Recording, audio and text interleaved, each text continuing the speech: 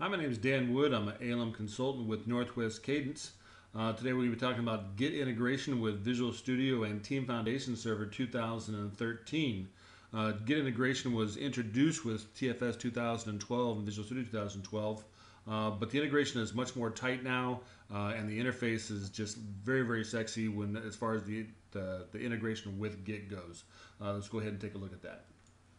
So in Team Explorer and on my Connect page, by just clicking on the little plug thing there, uh, we get our information about any repositories that we have. I see I have a, a couple of repositories, local repositories that are already set.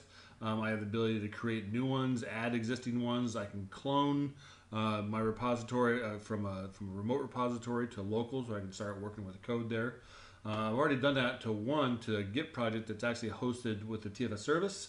Um, TF, the Git support is also supported with on-premise TFS uh, with, with TFS 2013. Uh, that particular capability has been available since January with the TFS service, uh, but it looks exactly the same. So we'll just use the, the service for this demo.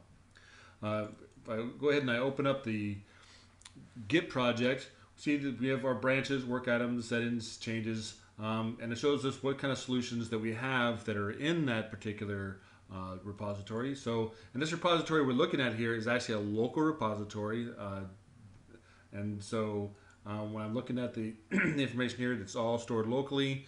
I'm not going and, and, contacting the server and, and doing a checkout or anything. It's all being done completely local. Uh, I don't have to actually communicate with the server at all, even though I've connected to the TFS service for uh, work item tracking and for being able to synchronize my code uh, with TFS service if I so desire. So if I come in here and I'm going to open up a, a, controller file and do something really silly like just uh, add a random comment.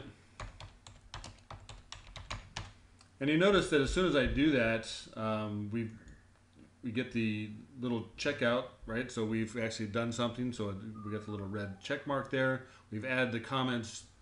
Uh, so I'll go ahead and I'm going to save that.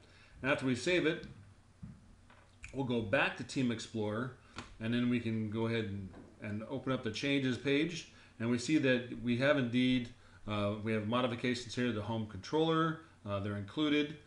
And so to go ahead and commit those again to my local repository uh, I'm just gonna added uh, random comments get my best practice make sure I have some kind of code comment. And the other thing I can do is I can add work items as well so I can associate this particular commit with a work item that's in my project.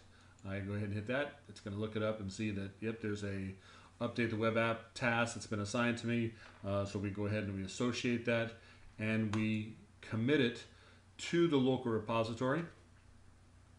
We go back into our home and now obviously it's not going to be in the changes anymore, but it is in the commits.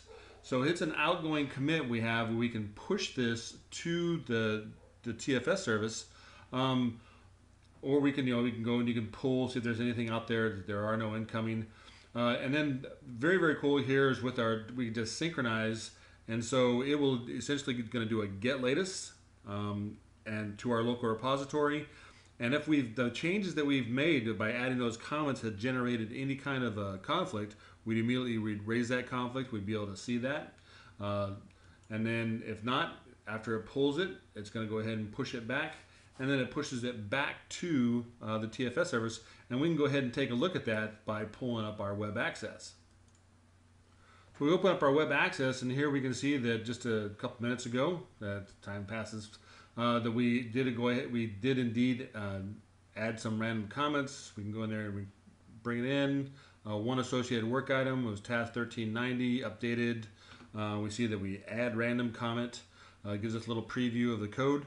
So completely seamless. It's all just Git, uh, but it's integrated with the Team Foundation server uh, so that we can get all that kind of power, but still get the flexibility of a distributed version control system of Git. So it's really a marriage of the best of two worlds and some pretty exciting changes.